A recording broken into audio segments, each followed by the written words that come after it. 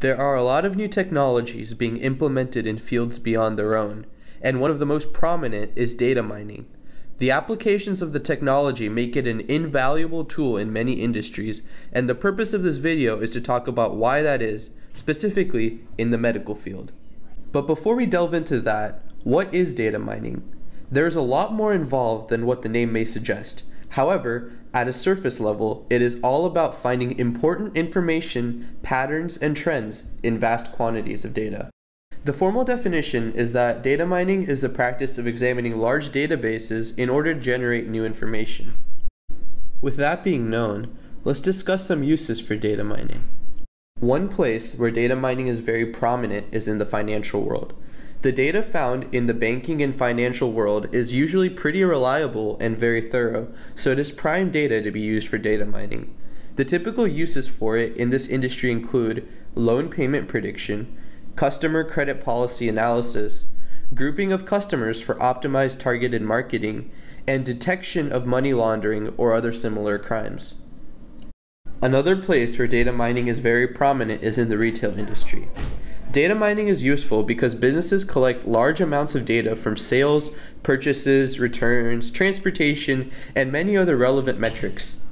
These metrics can all be analyzed for patterns and trends that lead to better advertising, product placement, customer service, and product retention and satisfaction. Basically, it allows the retail business to see what's working and what's not and make changes accordingly. Intrusion detection refers more to unwanted network intrusion than physical intrusion. Data mining allows for the creation of intrusion detection algorithms that know historical hacking patterns and signs and build on those to predict when and where it'll happen again, preventing them before they happen. Medicine, however, is the focal point of this video since it is a field where data mining has great potential to revolutionize it. However, more research is necessary before it can become the standard. To really see how data mining can play into the medical field and change how the system works, let's compare how a doctor approaches a patient interaction to how a program would. Currently, doctors are in control of most of the patient interaction and diagnosis process.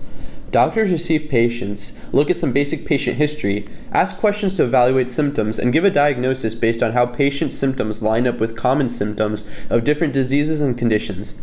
They have formal training in medical school, which means they have at least eight years or more of prior experience studying diseases and conditions.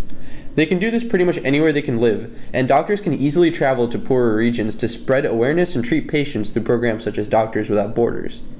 There are no software maintenance or electricity requirements. Finally, perhaps the most important distinguishing factor is the personal human aspect. Doctors have intuition, feeling, a way to make certain judgment calls based on their human experience that no program can replicate. Additionally, this human aspect usually puts patients at ease since people typically trust other people more than programs to treat them. On the other hand, let's look at what a data mining computer program could do in the medical field. Instead of simply drawing on prior experience and simple metrics, a program can access vast quantities of information from huge databases of medical records from specific areas or even on a global level. Additionally, since it is a program, it can make consistent, unbiased decisions without other personal factors contributing to it. This distinguishing factor is an advantage to both parties, since sometimes judgment calls need to be made, when in other cases it's best to go off of years of previous outcomes despite what it may seem like. There are many cases in which patient symptoms may line up with some condition. However, looking at previous trends, it is possible to detect some condition that is less likely or more rare that a doctor would most likely not have been exposed to or guess upon first look. So both sides have their own strengths. But the best solution is for doctors to utilize these programs in order to make the best decisions possible, but still leave some room for their own judgment when necessary. This leaves doctors as the face of the patient interaction process, with the data mining program backing them up by supporting their choices with solid historical data. For these reasons, it will be incredibly beneficial for the university to begin investing in data mining development and technology by utilizing the ICDS already on campus. Purdue is known for pushing the bounds of our scientific and technological limitations, and it has the engineers, scientists, and scholars necessary to develop exceptional software and methods to accomplish this task. Data mining in the medical field will allow Purdue to remain amongst the top public universities, as well as pave the way for a more efficient and sophisticated medical paradigm. So, there you have it. You now know more about what data mining is and how it is a crucial part of furthering different fields and industries. Additionally, you know that it would greatly benefit the field of medicine, and that's why Purdue University, or any other research institution for that matter, should fund more research into creating better and more sophisticated data mining processes.